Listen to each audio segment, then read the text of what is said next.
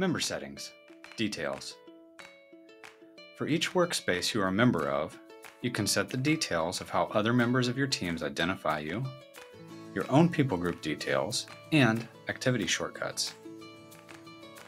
It is important for your teammates to be able to identify you as you use GAPP together to engage in the Great Commission.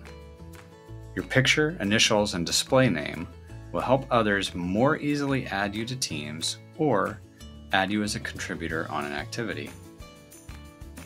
To set your picture and details, you are not on the Details page already. In the top section of the side panel, select Settings. The Details tab of the Settings page will open. If you have not set your picture yet, your initials will appear on a colored background. To change your initials, click in the Initials box and edit the text. You can have a maximum of three characters. To change the background color for your initials, click the color you want from the color picker. To change your display name, select the display name box and edit the text. To change your picture, click the circle. A new box will open. Click Select a Photo. Your device will ask you where you want to look for photos and open the appropriate new window so you can search for the picture you want to use. Select the picture you want to use and click Open or Upload depending on your operating system.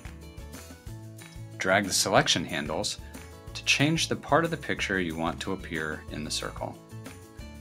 Click Upload. If you already have a picture and want to change it, click the circle.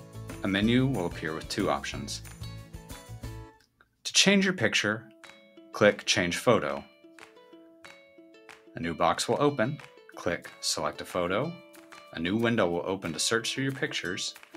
Select the picture you want to use and click Open or Upload depending on your operating system. Drag the selection handles change the part of the picture you want to appear in the circle. Click Upload. To remove your photo and display only your initials, click Remove. If you are finished making changes, scroll to the bottom of the screen and click Save.